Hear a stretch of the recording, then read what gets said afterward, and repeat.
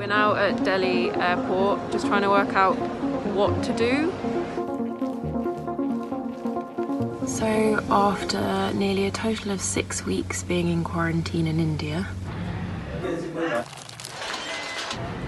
we had confirmation through from the UK embassy that we had flights on the final Delhi uh, repatriation flight back to London Heathrow. We had it explained to us that there would be a bus.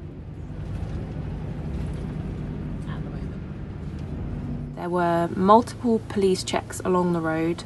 The travel guy on the bus with us would get off and show all the forms and permissions to show that we were allowed to be travelling after eight hours, we finally got into Delhi and we actually all stayed in a really beautiful hotel which was organised specially by the UK Embassy.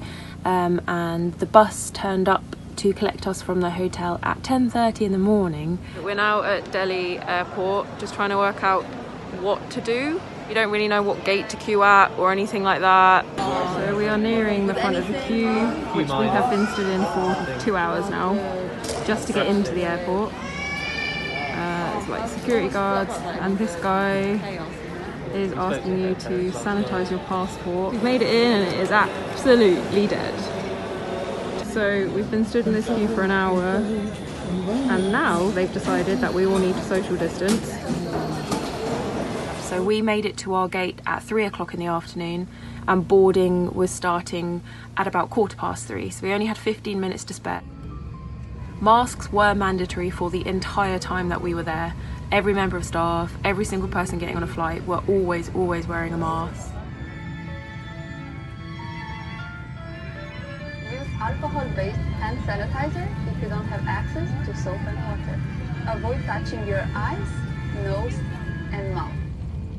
So after our around nine hour flight we landed in Heathrow they let us through in batches to immigration and passport check. The organisation there was amazing. It was also really refreshing to be told what's going on. We didn't really have much of that in India. We didn't see a single person wearing a mask, so it was mandatory in uh, India, but not a single person or member of staff in the UK actually wore one. So once we'd left the airport, we had to hunt down my parents who um, I hadn't seen for four months. They had Rob's truck. They filled it with a load of our belongings because we had no way of uh, quarantining with my parents. We didn't want to put either of them at risk, and we did the three to four hour drive to South Wales, um, where my godmother lives, and um, we're really lucky. She has caravans, so we are quarantining um, up here for two weeks and then we'll kind of be staying here for the foreseeable because this has obviously changed all of our plans. We were, well, four months into two years worth of travel which we had planned. Um, and now that's going to be put on hold for uh, probably a very long time.